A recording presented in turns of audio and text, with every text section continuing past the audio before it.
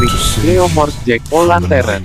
Tahukah kalian bahwa, nama skin ini, dan desain kepala Leomord di skin ini, terinspirasi dari kisah legenda, Irlandia, yang bernama Jack O'Lantern.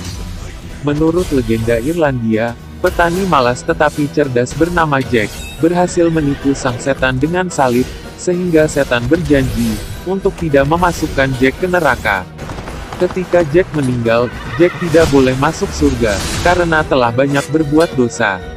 Tapi Jack tidak juga boleh masuk ke neraka, karena tidak diizinkan setan.